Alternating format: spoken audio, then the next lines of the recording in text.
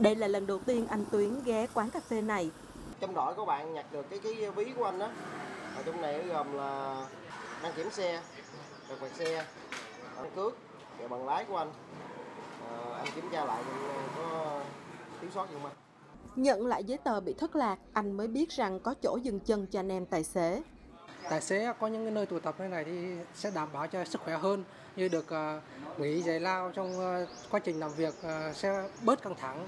Càng về gần trưa, tài xế lại tụ tập càng nhiều.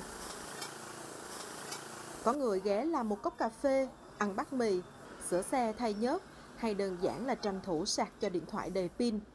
Anh Lợi là khách quen của quán đã nhiều năm, chứng kiến sự thay đổi của địa điểm này. Còn hai năm trước thì cũng bán cà phê bình thường, sau này có cái điểm dừng chân thì có thêm nhiều tài xế hơn. Giá cả rất là phải chăng chứ không có có mắc như ở ngoài được. Thì lúc nào thì anh em cũng sẽ tập trung ở đấy nhiều hơn. Tại quán cà phê này, nước nóng, nước lạnh, trà đá và mì gói đều miễn phí. Một ly cà phê được tính giá 15.000 đồng. Tài xế có nhu cầu cũng được sửa xe miễn phí, chỉ cần bỏ tiền mua phụ tùng. Dầu nhớt cũng được giảm giá nhiều so với thông thường, nên dù là quán cà phê, nhưng mục đích lợi nhuận không phải là mục đích lớn nhất. Anh nghĩ tới lợi nhuận mà anh nghĩ là trong khả năng của mình, mình làm như thế nào đó để anh em đồng nghiệp của mình được tốt hơn. Liên đoàn rộng Bình Tân cũng như liên đoàn rộng thành phố họ tạo điều kiện cho mình kết nối với doanh nghiệp thì mình mới có được cái giá tốt cho anh em.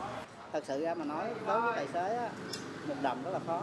Có được những quán cà phê bình dân, có chỗ nghỉ ngơi, có chỗ sạc điện thoại rất là tốt ok. Với tài xế, chỉ cần một chỗ mát để dừng chân đã là rất tốt. Vì vậy, từ điểm dừng chân đầu tiên này tại quận Bình Tân, Liên đoàn Lao động Thành phố Hồ Chí Minh đang khuyến khích Liên đoàn Lao động các quận huyện nghiên cứu giới thiệu những địa điểm phù hợp để tiếp tục nhân rộng mô hình này.